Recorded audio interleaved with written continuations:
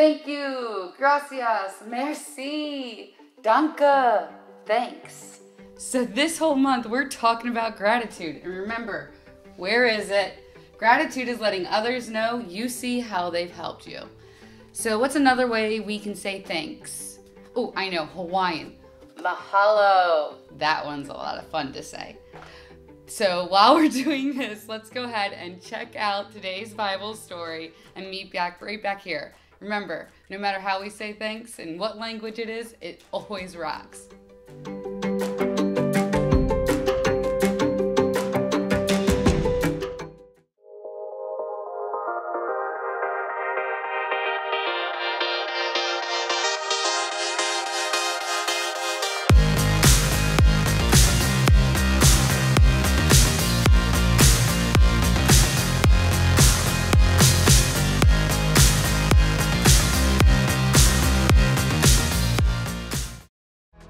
Ku Shu In. Ku Shu In. Wow, German is our hard language. Hi, I'm Erica. I'm learning how to say thank you in other languages because if I ever travel the globe, I still want to have gratitude. Gratitude is letting others know you see how they've helped you. But saying thank you is really hard as it turns out. For instance, in Armenia, if you were to open the door for me, I'd have to say, Congratulations if I wanted you to know that I was grateful. Or, if you gave me a stick of gum in Mongolia, I'd have to say thank you by saying, Beyalarla. And then, if we were in Spain and you gave me directions to the biblioteca, I'd have no choice but to say grace e ooze. Grace gracias. Grass gracias! Oh, I actually know that one.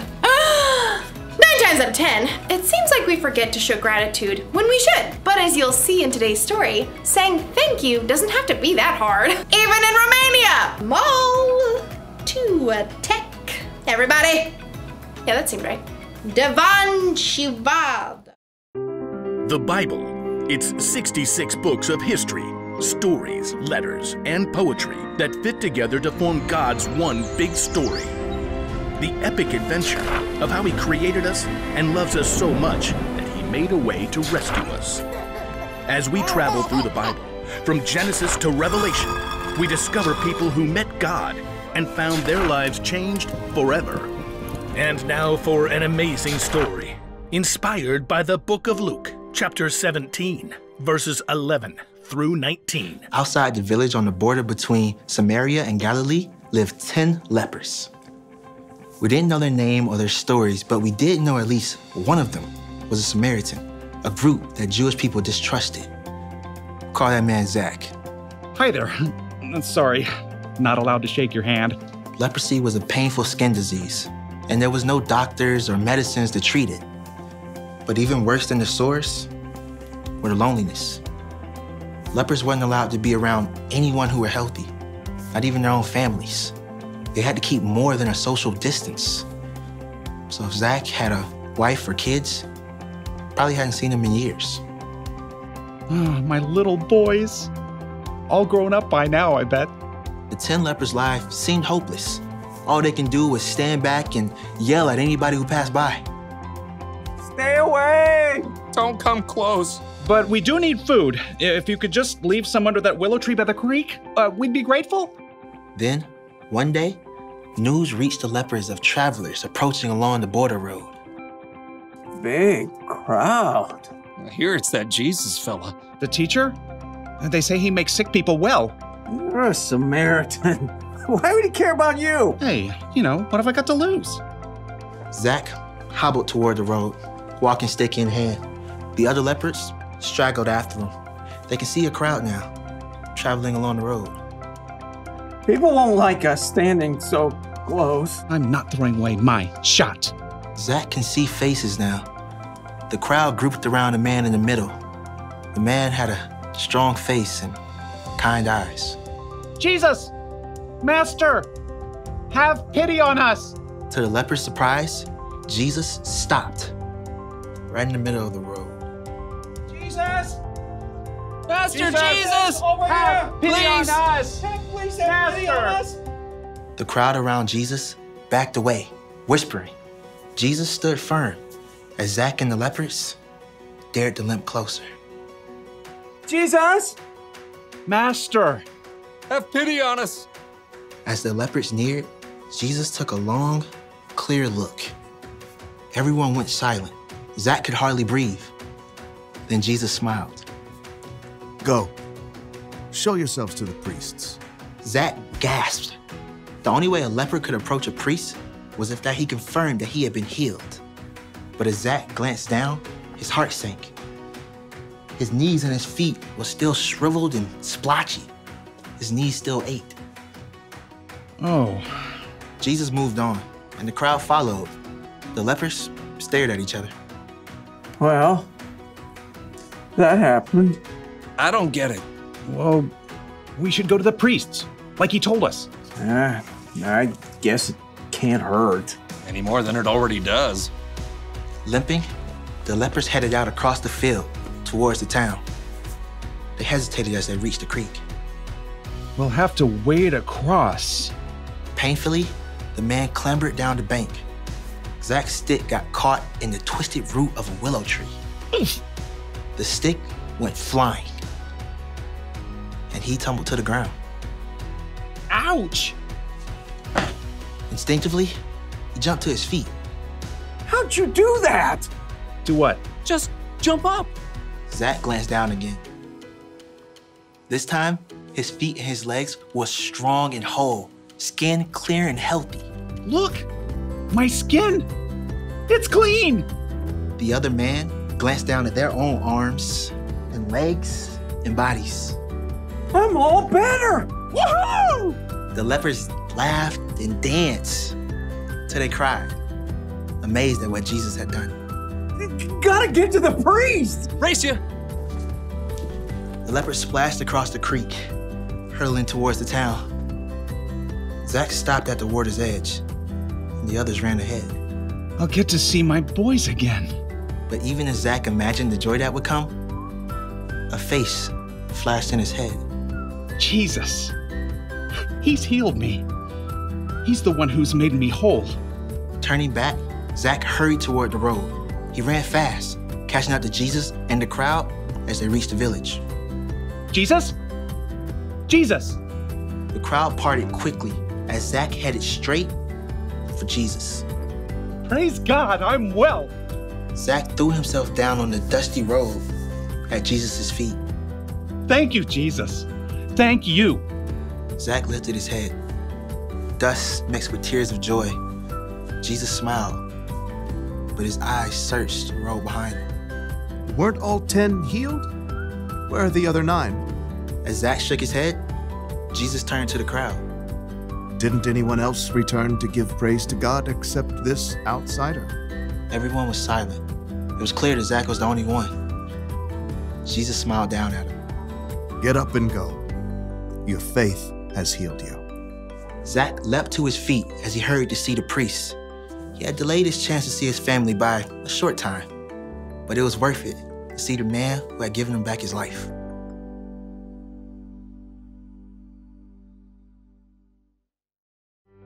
So, there were 10 guys healed by Jesus. All of them were probably really grateful, but only one of them took the time to actually say it out loud. I think sometimes we're kind of like the nine guys who didn't say anything. It's not that we're not grateful that mom made dinner and washed the dishes. We are grateful. We just assume mom knows that we're grateful. So we forget to say, Thank you. And we're definitely grateful when a teacher takes extra time to help us with schoolwork. We just, I don't know, don't feel comfortable telling her, thank you. And anytime we take a moment to think about all the things God has done for us, our hearts are probably overflowing with gratitude. But we don't actually tell Him, thank you. You probably feel grateful all the time to parents, to teachers, to friends, to God, to the guy who bags your groceries. All you need to do is remind yourself to take two seconds to say the words, thank you. That's the one thing to remember today. Say thank you. Or if you prefer, you could say arigato, maki, terim, terimaka-si. Thanks, everybody. See you next time.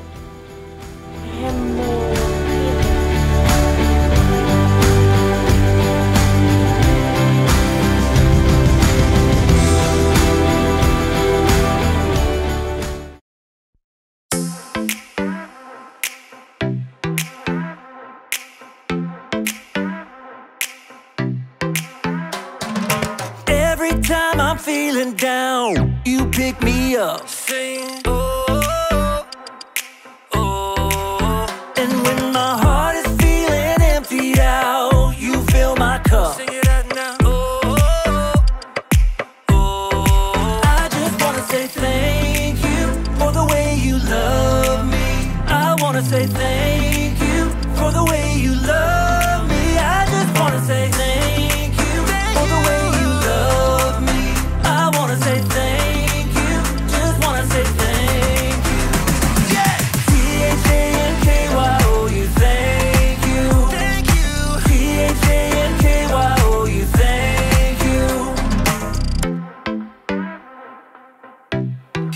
go, verse 2. I'm grateful for the way you've been a friend to me. Sing, oh, oh. And even in the deepest, darkest night, you help me see. Sing it out now. Oh, oh.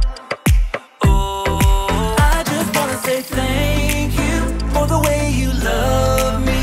I wanna say thank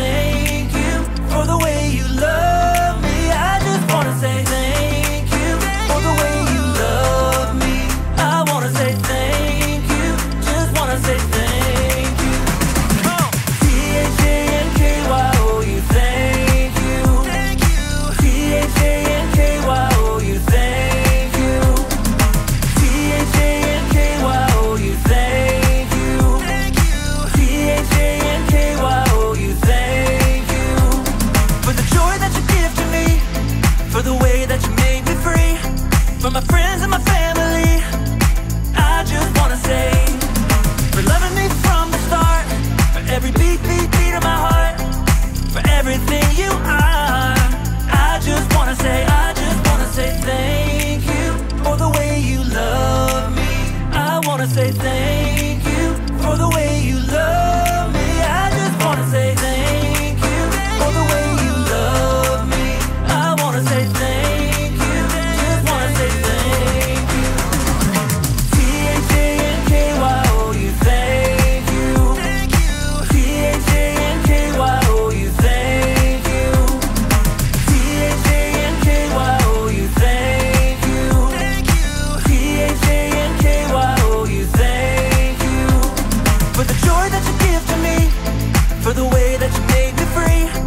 for my friends and my family, I just wanna say, for loving me from the start, every beat, beat,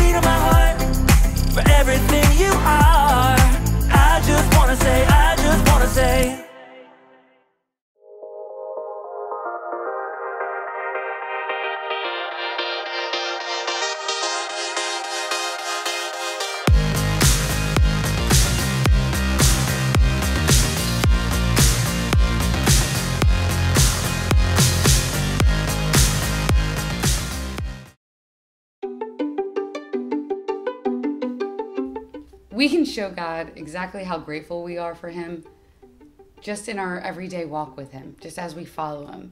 And we've gotten pretty good at saying thank you today. And remember, the Samaritan gave us a really great example of how to do that, and that's simply by just saying thank you. So let's do that right now as we talk to God. Dear God, thank you for all the things you've done for all of us. You love us so much that you sent Jesus to be our Savior. You care for each one of us, and you want to have a relationship with each one of us. For all these things and more, we want to say thank you. Please help us remember to say thank you to others when they've helped us too. And in Jesus' name we pray. Amen. See you next week, guys.